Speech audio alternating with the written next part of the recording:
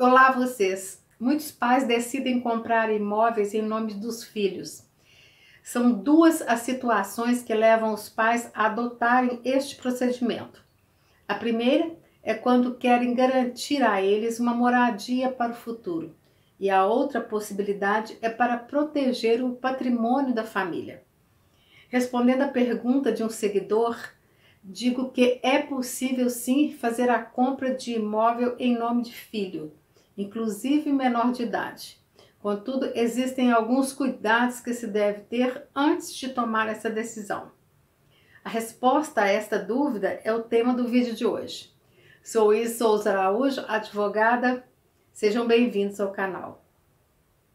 A compra de bens imóveis em nome de filhos ou filho pode ser feita e é recomendável que comunique ao vendedor que o imóvel está sendo adquirido em nome do filho ou filhos. Como mencionei no início, a compra também pode ser feita em nome de filhos menores de idade, sem nenhuma renda.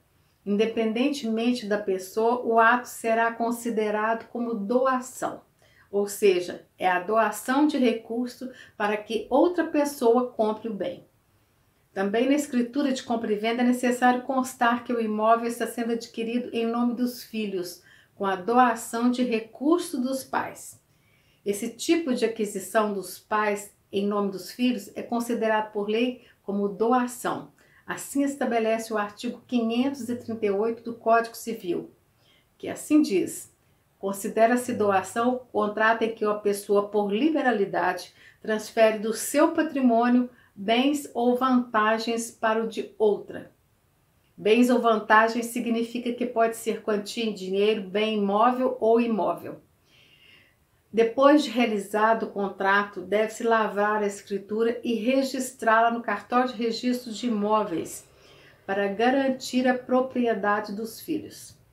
Mas é importante, por exemplo, ter em mente que para realizar a compra em nome de um filho, deve ser respeitado o direito à herança de todos os demais filhos.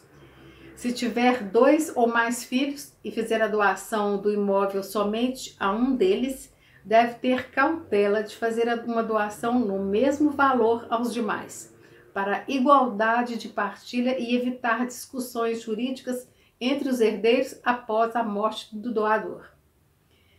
Existem vantagens e desvantagens. As vantagens desse procedimento é a economia que fará, pois os custos com a doação são menores do que o com inventário.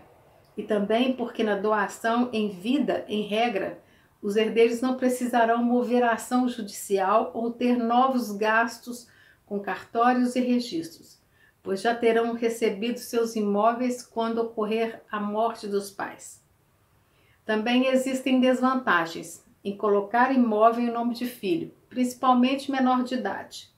Uma delas pode ocorrer quando, por exemplo, os pais desejarem ou precisarem vender o imóvel uma vez que será necessária a autorização judicial. E a segunda desvantagem é o pagamento de dois tributos no mesmo momento. O ITCD, Imposto Estadual, quando se faz doação, e o ITBI, tributo destinado ao município, cobrado quando se registra o bem. Respondendo à dúvida do inscrito, espero também ter ajudado a vocês. Peço que curtam o vídeo, inscrevam-se no canal e compartilhem com outras pessoas. Até o próximo vídeo.